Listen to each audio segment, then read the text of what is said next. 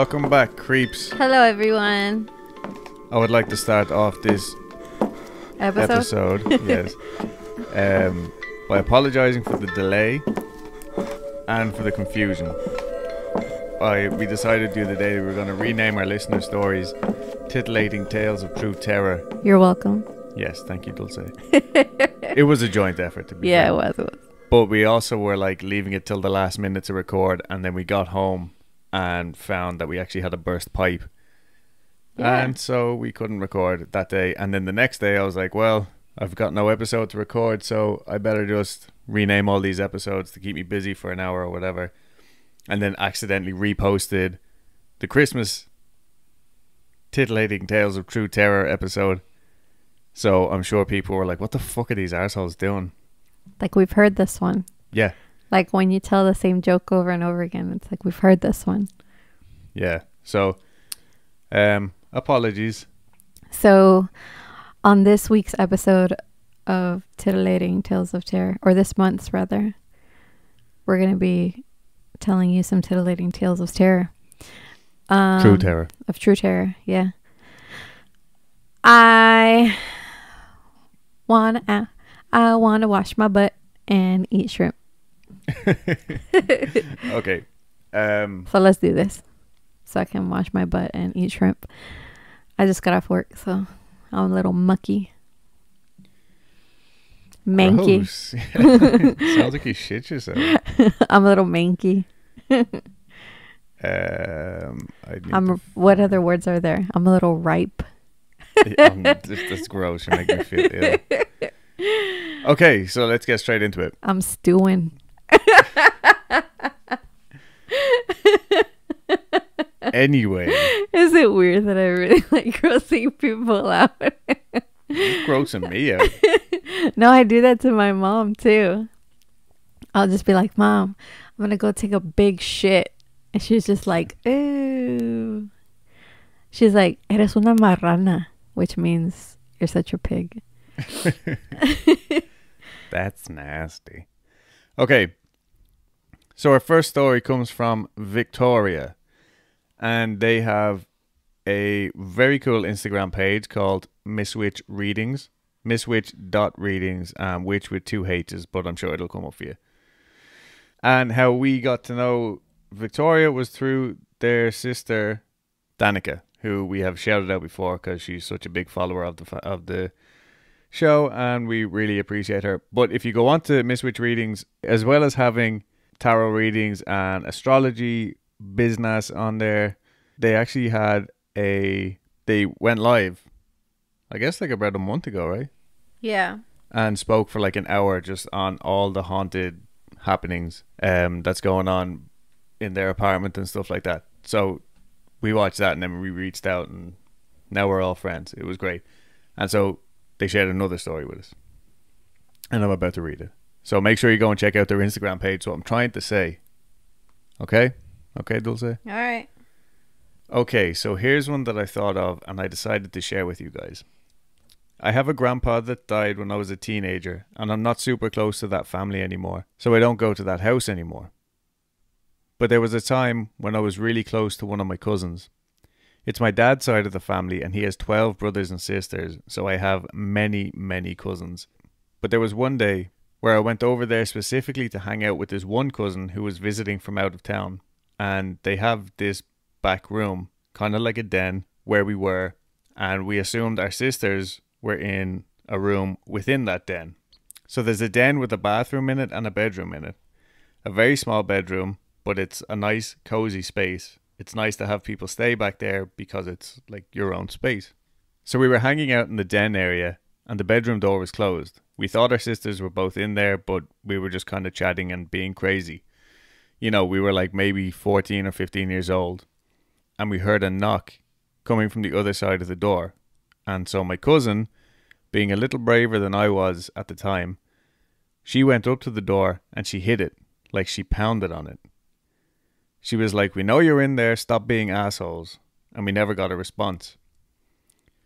A few minutes later, we heard another one boom on the door. So this time she was pissed and she got up and opened the door. She was just going to barge in on them and she kind of just started freaking out. And I was like, What? What's wrong? And she told me nobody was in there. There was nobody in the closet, nobody under the bed. The window screen couldn't even come off if someone had wanted to play a prank on us. So we kind of sat down on the futon that was back in the den and we just kind of thought for a second and we were like, we both heard that twice, not just once, and we were both here. And personally, I just feel like shared experiences are just scarier because you know that you were both there and you both witnessed it. So then we're sitting on the futon and the, and there comes a tap from the bottom, like somebody's under there, like hitting on the metal with their nails. And we both freaked out and picked up our feet and we just kind of stared at the door for a second and boom, there was a third pound on the door. There was a back door that led to the backyard, and we just booked it out of there because conveniently the door to the kitchen was locked from the outside. That lock was there for its own reasons. It's nothing that scary, but we were stuck, you know. So we ran through the back door and went out to the front yard where everyone was barbecuing and drinking and whatnot. And we were freaking out, so our parents came up to us asking us what was wrong and we were both automatically blaming our sisters like we don't know how they did it but they scared us blah blah blah. A few years after that i told my dad about it. I was on the phone to my cousin and i came up to him and i asked him if he remembered and he got like white as a sheet and he was like why have you never told me about this before? And i was like i told mom. She came up to me when it happened and so did my auntie tisha who was his sister and i told him and I told them, so I assumed you knew. And he was like, Did I ever tell you that my grandpa died in that room? And I was like, What the fuck? no, you didn't. That would have been really useful information to have. And there's my cousin freaking out on the other line because she can hear him say say all this to us. So evidently not only did his grandpa die back there, but his grandpa was also kind of an asshole and he liked to play pranks on all of them when they were younger, and he was mean to them, like he just got a kick out of it. That was the first experience that I ever had in there that ended up being revealed to me as something that was a bit bigger than it was when I actually experienced it. Yeah, it was scary when we experienced it, but that was only the first time. And again, I don't speak to my dad, and I have not been to my grandparents' house in years, so I haven't had anything there since this next one, which was after my grandpa died as in the storyteller's grandpa. Which I want to say was not too long after that first experience, maybe a few years. I was in high school.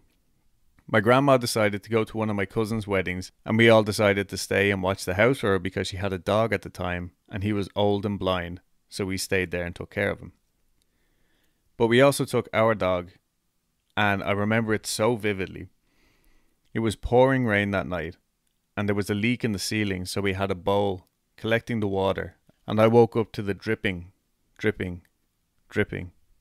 Maybe 30 seconds to a minute later, I felt stuck, and I think this was the first time I thought I experienced sleep paralysis, and I started to kind of freak out a little bit. But about 30 seconds to a minute after I woke up, an alarm started going off.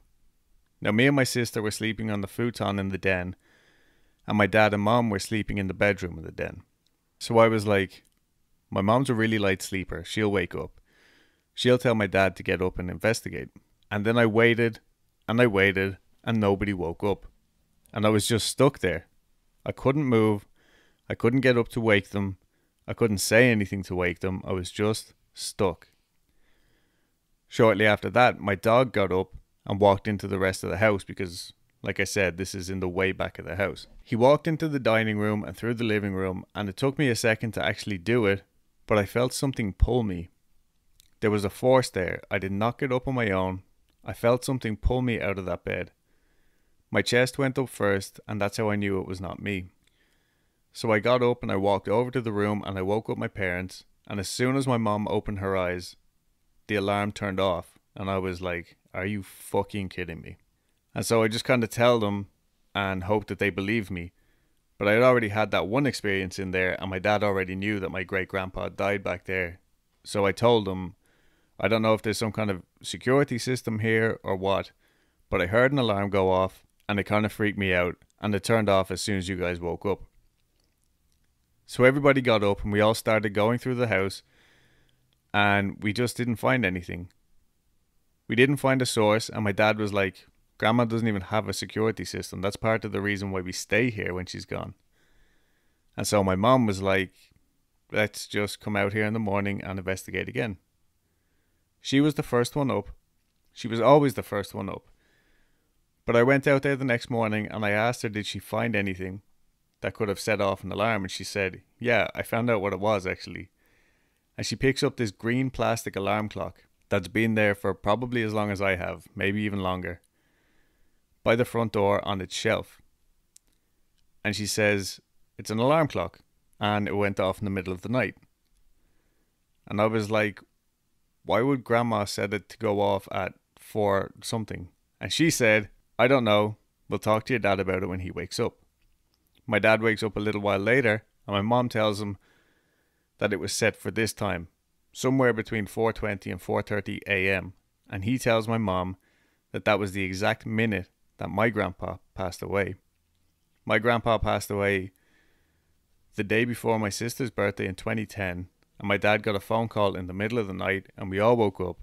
So I remember when he left, and I remember staying up and waiting to hear the news that my grandpa passed away. So I know that that was the time, but I needed a huge reminder, and that was it. Of course, I'm not going to remember it, the exact time my grandpa passed away, but my dad did because it's it was his dad. I'm not the only one who had an experience there after he passed away. My cousins did as well. One of my younger cousins, he had nightmares there. It was strange to hear that from my aunt after my mom told her about my experience, and then my aunt told her that her son had been waking up whenever they stayed there. He wakes up sweating and freaking out as if it was real. And while this was strange, what makes it even more strange was that this cousin was probably the closest to my grandpa. He adored him, he looked up to him, and ever since he was a kid, he just always wanted to be there with my grandparents. So while it is weird to me that I had this experience, it's also weird that somebody else had something happen to them. But what stands out to me so much is how much more malicious my cousin's experience was compared to mine. When it happened to me, I woke up, I was scared, but I was scared because I felt stuck. I wasn't scared because it felt like there was something scary there. It didn't feel dark, it didn't feel heavy, and I can usually pick up on those things pretty easily. So I don't know. It's just strange to me that that his experience was different to mine. I haven't spoken to him about it because from what I can understand, it was kind of traumatic because he was so close to him. I probably wouldn't want to think about it either, so I really have never made him talk about it or think about it at all. But I know that it happened, so yeah, there's that room. Well, fuck. Yeah. Thanks, Victoria. yeah, Um, thank you. Also, I have written under here, and I'm not laughing at your story, but every time I was trying to type an alarm clock, Yeah. I'm I'm really bad at typing, evidently, but I kept typing anal arm clock. so I just Nice. wrote anal arm clock down at the bottom. uh, but yeah, fuck that. I recently had sleep paralysis and scared the shit out of Dulce with it. When was that?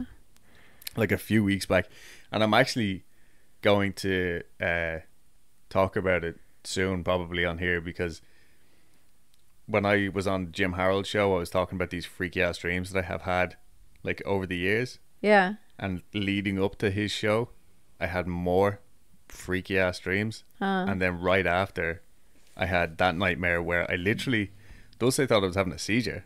When was this? I can't remember. A few weeks back, it was like a Saturday morning.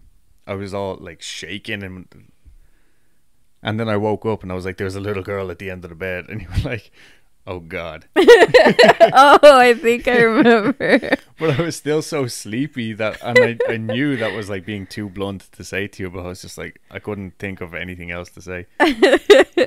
so anyway, Victoria, I completely understand how fucking horrible. Those. Knowing me, I probably was like, instead of like an oh god, I'm scared. I'm just like, oh god, this. Yeah, that, that's literally how it was. It was just an unimpressed. Oh God. Remember that time you walked into the room and I was sleeping by myself? I didn't hear you come in. he scared the shit out of me. I turned around and I was like, "What the fuck? When did you get here?" To be fair, I was just standing over you. I was trying to get the melatonin off the thing, but I yeah. thought it was pork chop, and I was like, "Wait a minute, pork chop's not a bad little girl." She's also not a five foot something man. I'm not very big, ladies and gentlemen. well, like I heard the pills, and I was like, "Cause uh, that's oh, something you Max thought it was just her would pill. Yeah, yeah, I, yeah. ma- I thought, you know, that's something Max would fucking do is fuck with pills. yeah, yeah, of course, because he's a dick. He is. Um, but yeah, no, Victoria, that's fucking nuts. And obviously, I don't know what the situation is there, whether you're going to go back to that house or not. But if you do ever go back to that house, please let us know if you have any more experiences there. And yeah, guys, do not forget to go check out her page, Miss Witch Readings. Okay, tell us a story, Dulce. Okay. All right, here we go. I don't know who wrote this. So if you wrote this, reach out to us.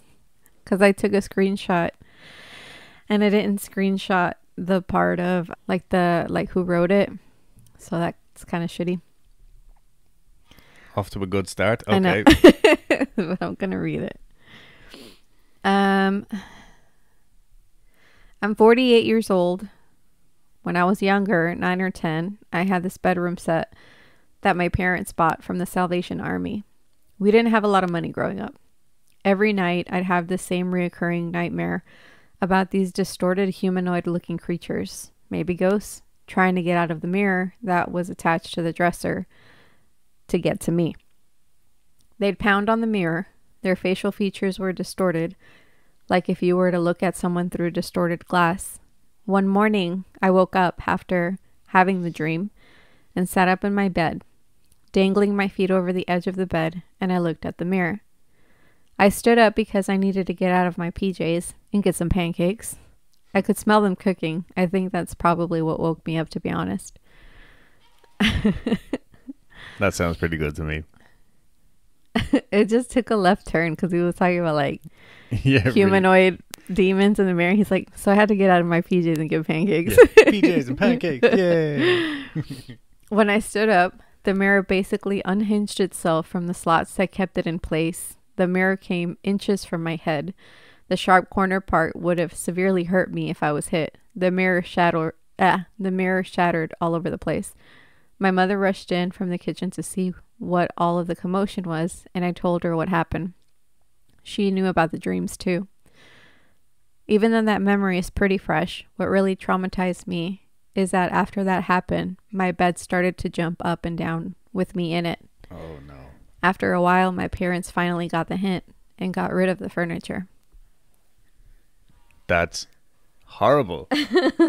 my dad actually got um got me a bed from somewhere. Sorry, my chair keeps squeaking. Fucking Amazon Basics. It's because Um, of the weight. Like I've noticed that. Oh, No, I'm the chairs at my work do that. Like they, I get them, and they don't squeak. But then after a while, they start to squeak. yeah, Well, anyway, my dad bought me a.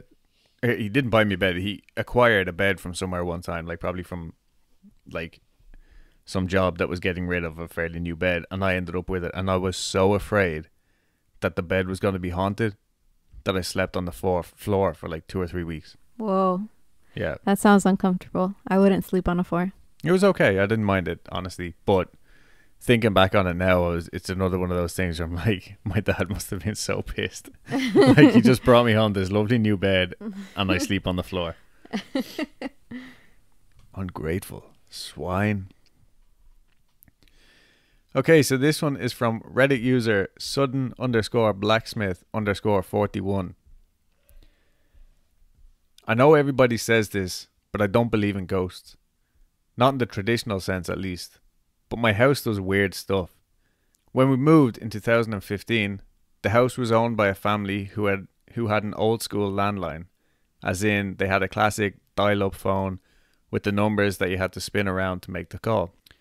My wife and I kept it because we thought it was cool, even though it took about 20 minutes to get a telephone number right. But this phone did weird shit. First, my wife rang me at home one day and became very suspicious because she could hear a woman's voice. I said that it was probably crossed wires, no biggie. She said it sounded like a woman singing on the other end. I laughed that she thought I had the time or energy to have an affair and thought nothing of it. Fast forward, my mother in law rings. I have a two year old daughter at this point. I'm talking to my mother in law about something, probably repairs on the house. It was and still is a fixer upper. When she starts laughing and saying that she loves my daughter's singing. My daughter, who is not singing. So I'm like, well, crossed wires, it's fine. This happens 10 or 20 more times. I actually hear it about 5 times when using the phone, and it sounds like a girl or woman singing. Each time the sound was identical. Like a kind of lilting tralala song coming from a great distance. Or a tralala song. I still just think, yeah, okay, interference from somewhere. Anyway, we unplug the phone and get a newer one. The sound stopped immediately. Weird, but whatever. Next thing, I'm about to fall asleep one night when my wife starts screaming that she's seen something downstairs. I run down and she's genuinely terrified. Apparently she saw a white dress moving between the hall moving between the hall doorways as if somebody was running and the dress was billowing out behind them. This happens again about a week later, but this time my wife is even more terrified because she doesn't just see a dress, she sees a profile of a woman above it that she can accurately describe, like anatomically. So I'm still skeptical. My wife works long hours as a teacher, and this could be explained by tiredness and brain conjuring up weird shit for fun, as the brain tends to do. I'm just gonna interrupt here. I've worked some long ass shifts and been very tired in my time. Sometimes I'm just tired of being awake. My brain has never conjured up stuff like that. And if you told me you were seeing shit, I would believe you. just saying. okay. Back Now into you- the story. Now I'm wondering if I ever told you that. Anyway, back to the story. One day, my daughter starts screaming from the bathroom upstairs. I run up and she is crying. She says a person was watching her from the hall, peeking out of mum and daddy's room. She is inconsolable and keeps saying that there's somebody in the house. So by now, I think, okay, well, these types of things have happened for four more years on and off. They tend to go in cycles, occurring for a few weeks and then not occurring for months at a time. I will often forget that my house is quote unquote haunted. Then suddenly something weird will happen one day and I'll be like, oh shit, yeah, the ghost. Anticipating a question, I have indeed seen something weird. I used to sleep badly due to anxiety and panic attacks. I have never experienced hallucinations or anything due to these, but I realized they could make me susceptible to sensory delusions. I myself believe that what I saw was probably the result of my anxiety compounded with sleeplessness. However, one night I was heading to bed around 2 a.m. I glanced up the stairs as I was putting the dog in the kitchen. Dog always chills with me downstairs. And I saw, for a moment, a flash of white passing up the stairs, like a dress. I even swear I saw the hem of the dress unfurling behind it. I have seen this at least four times in five years of living at the house, at very unexpected times. As in, times I had forgotten about the haunted nature of the house. I'll be doing my thing, and suddenly, boom. There's the white thing, whatever it is, moving somewhere in the house. My wife has also experienced it many times. My son, now five, has also always experienced serious difficulty sleeping in his bedroom due to what he used to call the Twirlywoos in his room. In parentheses, Google it, a weird British kids show, and fuck seeing that in the middle of the night. Okay, we're gonna have to Google that. Now he is more vocal. He simply says he doesn't like his room because he thinks people are there. Whoa. So, my house, not particularly scary, but an example of how you can live in a strange little house without believing in ghosts and carry on with your life, even if your world might be genuinely haunted as shit. Well, Sudden Blacksmith 41. I mean, look, I'm. You know how skeptical I tend to be when weird shit happens, Yeah, for the most part, yeah. for the most part. But at the same time, if I was actually seeing shit hmm. and we were seeing the same shit, And if we had a kid and it was seeing shit, Yeah. I still feel like you try to explain it away somehow. maybe for the kid's sake, Yeah. but deep down I'd be freaking out. Oh, I'm just thinking. Oh, I- you just stopped mid podcast there. Like, it was, Sorry, I was just really deep in thought. yeah, I'm gonna look up the twirly boos real quick. Okay. Yeah. What? Oh, that's cool. Yeah, not in your bedroom in the middle of the fucking night. It's not. Oh no. Whoa. Look at those big old eyes. Yeah. No, thank you. I mean, they're cute, but not that cute. Not like see you in the middle of the night cute. Yeah, I don't. I don't really have the whole cute til- children's TV thing. I, I don't know. Anyway, tell us a story. Dulce. Right. This is from Piper ASC. I often feel like someone is standing over me as I sleep. My legs get shaky and light, if that makes sense. I always have. Sometimes I can almost feel who it is my grandma, uncle, mom. Other times I have this fear. One night I rolled over towards my husband as his back was towards me. My hair covered my left eye, but I opened my right eye. When I did, I saw my husband sitting there on the edge of the bed. I opened both eyes as I was going to ask him if he was okay. When I did, he was also lying on the bed. I was freaked out and immediately closed my eyes. I, even for a second, had the thought that he had passed away, and that was his spirit sitting there until I heard him let out a sigh in his sleep. He often has nightmares that makes him cry out. It felt as though my heart fell to my stomach and my stomach to my feet. I'm not really sure what I seen, but without a doubt, both entities were him. Just about a week later from the event last night, I woke up to the shaking, light legs feeling. My heart fell to my stomach and my stomach to my feet. Then everything went silent, but a deafening silence, like I've never heard before, like I almost was all alone in a nothingness. Has anyone ever experienced any of this? Any thoughts? The whole thing with my husband has freaked me out. I've used sage in our home to cleanse it. He was recently diagnosed with diverticulosis, where he passed out waiting to be seen as he was losing blood. He has heart stents. He has had heart stents since 2016 and takes BP meds as well as a blood thinner. We're young, in our mid 40s. Age is the scariest part of that story. I swear to God. I hope your husband's okay. So, yeah, doppelgangers, man. That's crazy. That's almost the exact same story as we've had before. Yeah. Like same experience. Our friend woke up in her bed to her husband at the end of the bed, yeah, just looking at her. just looking at her, yeah. And then she turned around and her husband was lying beside her in the bed. Yeah.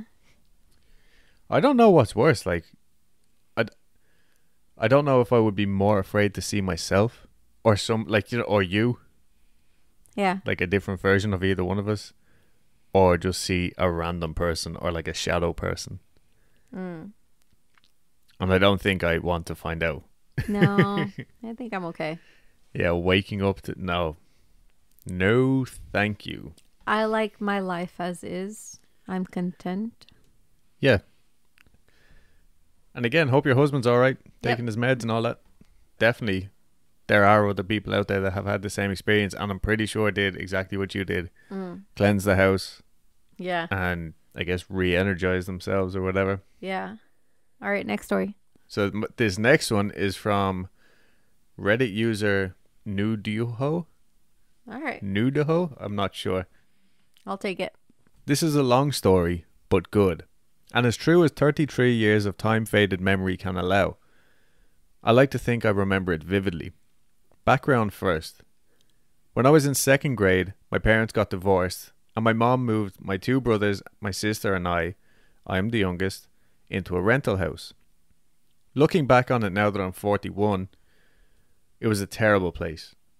The floors were uneven, the house was sided in roofing shingles, the stairs shook as you walked up it, and the stove required an external propane tank. There was also a dirt floor cellar with an awesome little hiding place under the stairs. Definitely a hell house, the stereotypical house for haunting. And I would also just like to say, dirt floor cellars, nothing good can come of it. Mm. If we ever end up buying a house with the cellar with the dirt floor, the first fucking thing I'm doing is cementing over. Yeah. If there's dead sense. bodies under there, they can stay under there. Oh. I'm not looking for them. I'm just going to cement it over and pretend like nothing ever happened. I mean, if you're damned if you don't dig them up, and you're damned if you do. I feel like Yeah, ignorance is bliss.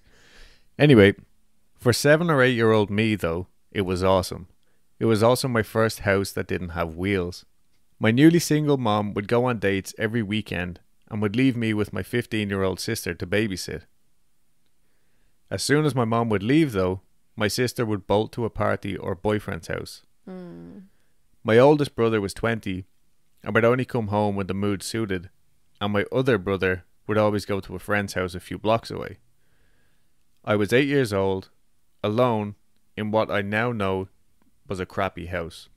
Another important point to note is that there was the master bedroom, bathroom, dining room, and kitchen on the ground floor. Upstairs, there were three rooms my sister's room, my room that I shared with the middle brother, and the other room with a padlocked door. Now it's story time. I had always heard funny noises in the house, but my mom always told me it was just an old house, and my siblings never really paid any attention. But one of these wonderful Friday or Saturday nights, I was alone in the house and watching TV. I heard footsteps coming down the stairs and a child's giggle. I looked over at the stairs and there was nothing there. I hear more footsteps. Nothing there. It's just an old house. More footsteps coming from the kitchen and down the stairs into the cellar. The noise stopped for a while, and I settled down and just watched TV. About 15 minutes later, I hear someone running up the stairs and into the doorway leading into the living room, and then they just stop. Eight year old me is freaking out. So is 41 year old me, remembering it. But that was it, at first. Fast forward a few weeks of horrified and ignored me spending my Friday nights sitting by myself while no one in the family could possibly be bothered to stay home with me. Something always happened, and I was always told it was just an old house or I was imagining it. And then my imagination spoke to me. Hi, do you want to come play with me? I'm bored.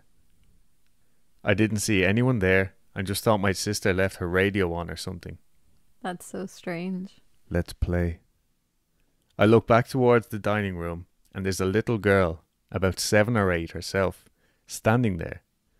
She looked vaguely like one of the kids that lived behind us, but before I could ask why she was in my house, she giggled and ran off and went straight upstairs. I ran after her. I bolted up the stairs and saw her at the top of the landing. As she ran off again, past my sister's door, past my door, around the top of the stairs, and into the third door, slamming it behind her. Remember what I said about the third door? It was padlocked shut. Yes, I remember about that third door.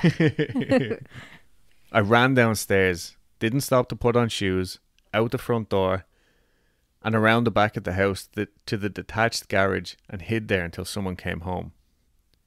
I guess the mood suited him because my oldest brother came home. At first, he was pissed at my mom and sister for leaving me home by myself, but finally, he asked me what happened. He didn't believe my story at first. Who would? Until he looked up at the window to that third room. The light was on. We stayed in the garage for a while until I was okay with going back inside. During which time my sister got home and she got one hell of an ass chewing. An ass chewing. an ass chewing. The three of us go inside and they leave me to sit in the living room while they investigate my story. I heard them messing around with the padlock and then a loud crash, some stuff moving around, and then, oh holy shit. That was all capitals. Click of a light switch, slamming door, running footsteps down the stairs, And then I see my brother and sister sprinting towards me as they pick me up, and we all load up in my brother's car and drove to my grandparents' house two towns away. We told them the story, and then I heard what they found in the room.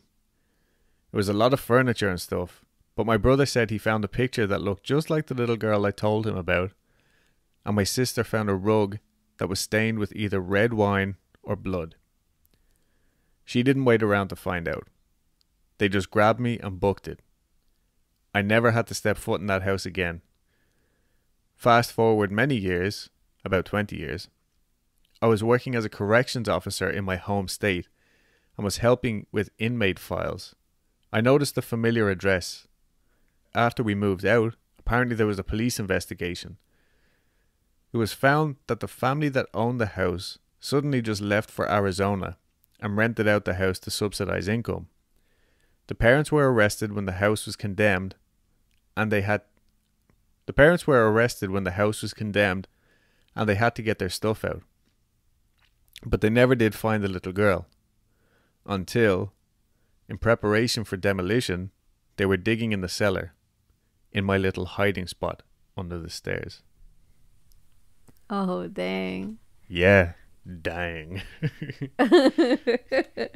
That's what I said earlier when sometimes I don't understand myself. Uh my reactions. I feel like my reactions can come across very like monotone. yeah. Uh and or like when I'm participating in some sort of event in which I am fully engrossed and completely enjoying myself, but to the untrained eye, I look very bored. Oh yeah. I can definitely um agree with you there. I'll Like- come home and I'll be like, Dulce, look what I just got. Look at this. Look at this amazing thing. Look, I booked tickets to go here. And you'll be like, Oh. yeah, how nice. and then I'll just be like, well, I'll just go fuck myself then. Have you got another story for us? All right. This is called The Cheeky Ghost by Rosie Wren. I've posted before about my experiences at my dad's while growing up, but this is what happened at my mom's, mostly to her.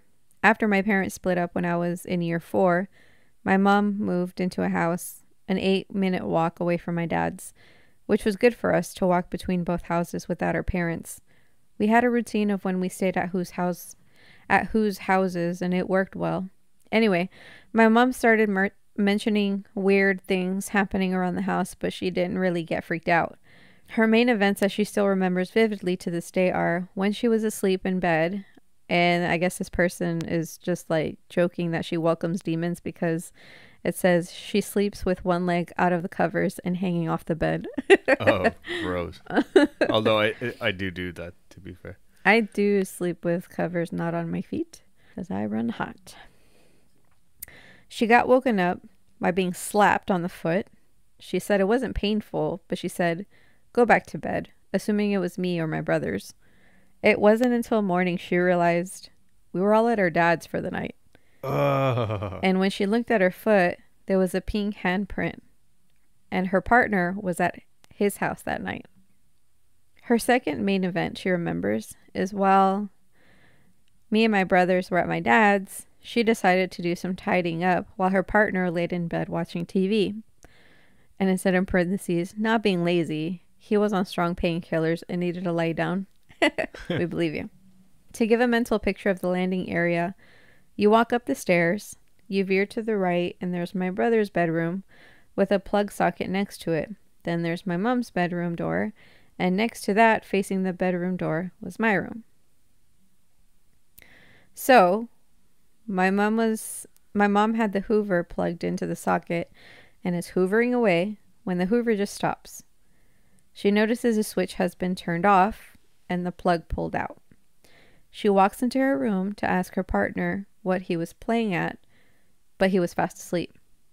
Even if he wasn't there, there's no way he would turn off the Hoover, unplug it, get past my mom unnoticed, and across to the bed in the space of 30 seconds. She mentioned a few little bits that I can't remember myself at the moment. The only thing I experienced is that I would refuse to sleep unless my cupboard door was closed, which could be just a usual childhood fear. Also, still to this day, after several new kettles, several places moved around the room, the kettle will turn itself on to boil. We have to make sure it has water in it so it doesn't break. These are ones you have to flick to turn on, and there's nothing around it to turn it on. I feel like if I was a ghost, that would be one of my main fucking tricks. It's to turn off the kettle. Turn it on Oh. when there's no water in it. Oh, that's such an Just asshole move. no, I would just be trying to make a cup of tea as a ghost. Mm. It's your job to keep the water in it. I'm a ghost. I can't fill it up with water. yeah.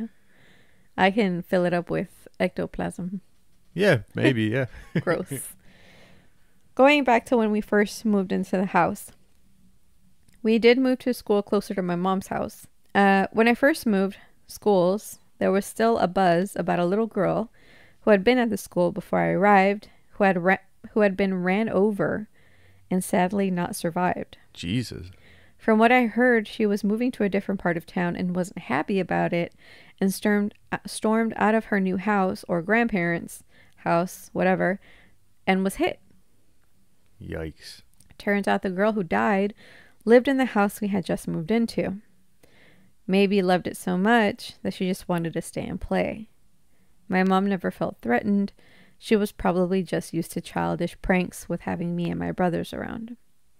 Side story the only personal experience I've had at my mom's house. So, we had a house rabbit called Quo. What an odd name. Sorry. Like, as What in does that mean? quo? Yeah, I guess. Is this Latin? I don't know. he was amazing. He had such a big personality for a rabbit, and we adored him. He was a bit cheeky. If we snuck into our mom's room to sleep in her bed, he would come upstairs and burrow into the cover until we went back to our room. That's cute. Oh. That was his side of the bed, even though he never slept on it. What the fuck? He's just territorial, I guess. I just fucking love lettuce and this side of the bed. and Latin. I love salads, all the dressing. Yeah.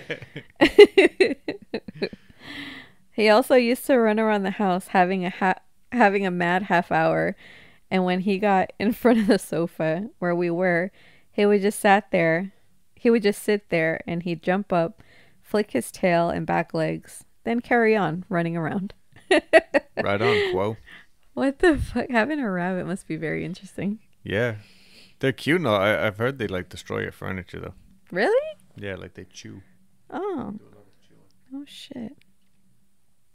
Sadly, we found out he was very he was very poorly. I guess um like health-wise, yeah, like sickly. You name it, he had it. And we were advised to put him to sleep for his own benefit. It was absolutely heartbreaking. Me and my brothers were all still 10 years old or younger.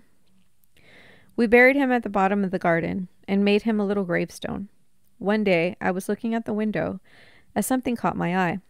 I saw Quo doing his weird flick dance around where his grave was. I blinked and he was gone. Never happened again. Whoa. Yeah. Just a little little rabbit doing a little dance. Yeah. Just having one last flick before he goes on his merry way. Yeah. That's mad. And also I, I think um like obviously children ghosts are the most fucking terrifying thing I can certainly one of the most terrifying types of ghosts I can think of. But I've also heard a couple of stories now where particularly a mom or maybe parents will kind of adopt the ghost of a child in their Mm. house. No, I, I would never. I would adopt the ghost of a pet. Never something bipedal. but no, it, it always seems to start off as like, you know, obviously natural spookiness shit or whatever. Yeah. But then as time goes by, they kind of just accept it and they're like, oh, it's just a, you know, another member of the family type thing. Mm-hmm. Okay, creeps. Once again, we are terribly sorry for the delay. Although it's only one day. We didn't do too bad, all things considered. Make sure to send us your stories. We're weeklycreep at gmail.com. We actually have Weekly Creep weeklycreep.com right now. Although it's just set up to go to our link tree. So if you want, go on to weeklycreep.com. You can that'll have a list of anywhere you can find us. Send us your personal stories. I keep saying this as well because they don't have to be paranormal. If you just have like some fucking weird, like, oh, I shook hands with Ted Bundy without realizing it type of story, send that to us. We want to hear it. Make sure to follow us on Instagram, Twitter. The Facebook group is actually picking up. What's the picking up speed? Yeah. He's gathering momentum. Ah, there it is. Uh, yeah, and we'll see you on Friday with a fresh new ep. Yep. All right. We'll see you later. All right, Bye. Uncle, mom. Your foot. I thought your foot was a cat, and then I was like, but I locked the cats out. I just fucking love lettuce and this side of the bed, and Latin. I love salads full of dressing. Yeah.